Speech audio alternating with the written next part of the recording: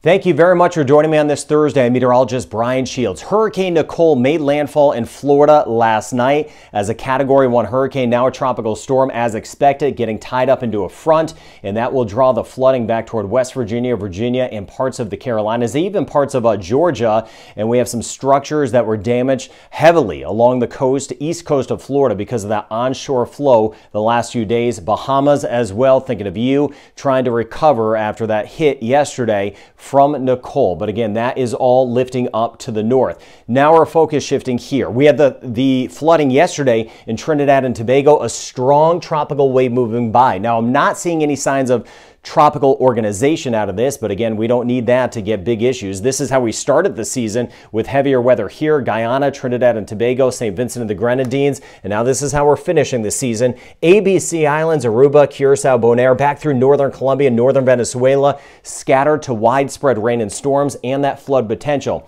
Not as much Cayman Islands, Jamaica, Belize, Guatemala, Honduras, Nicaragua, Costa Rica, Panama, scattered showers and storms. Keep an eye on us here, but clearly the focus here Barbados, St. Lucia to the south. Even keeping an eye on Dominica, uh, Martinique, uh, Guadeloupe for a higher chance of some rain and storm. So here it is. This is later today at 4 p.m. Here is the flood threat. St. Vincent and the Grenadines, Grenada, Trinidad, Tobago, Guyana, Suriname, up through Barbados, seeing some of this rain filter in. And here's why. We had a tropical wave move by, and since it moved by, we're on the backside of it, that easterly flow drawing in the rain and storms. Not as much up here, but more so down here. So yeah, some scattered showers and storms, Virgin Islands, British and U.S., Anguilla, Antigua, and Barbuda. But look at that as we move forward into 4 o'clock tomorrow. So tomorrow afternoon, there it is. Some of the same spots seeing the rain and storms. That's why we're going to see that flood threat continuing and getting worse. And a little resurgence as this wave moves by. Look at Jamaica.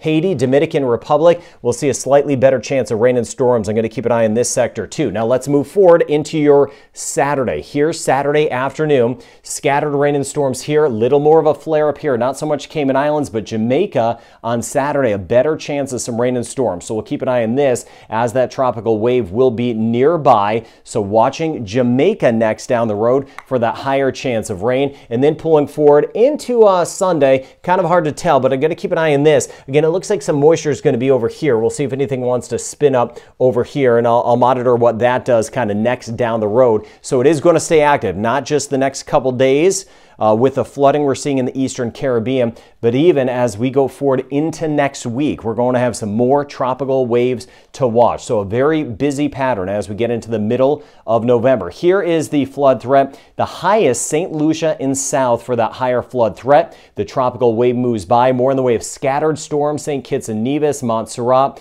Southern zones, there's that better chance of rain, more widespread rain and storms and that threat of seeing the flooding, including Guyana in northern uh, Suriname. So as far as the rain is concerned, now look at this sector here anywhere from uh, Grenada back through Trinidad and Tobago. See these brighter colors, these deeper purples? That's 125 millimeters of rain, and that corresponds to about five inches of rain plus. Now, as you know, we have smaller islands, some bigger islands. It just depends on where they set up, but this sector definitely a threat for seeing some heavier rain. ABC Islands as well. We could see anywhere from at least 50 millimeters of rain, upwards of 125 millimeters, depending on how that pans out. This is through Saturday, and Saturday, this model at least showing some of that rain nearby Jamaica, uh, close by or just offshore, but we could see 100 millimeters of rain potentially in Jamaica in some spots on Saturday. So heads up, isolated flooding as well for Jamaica down the road. Very active right now. So today,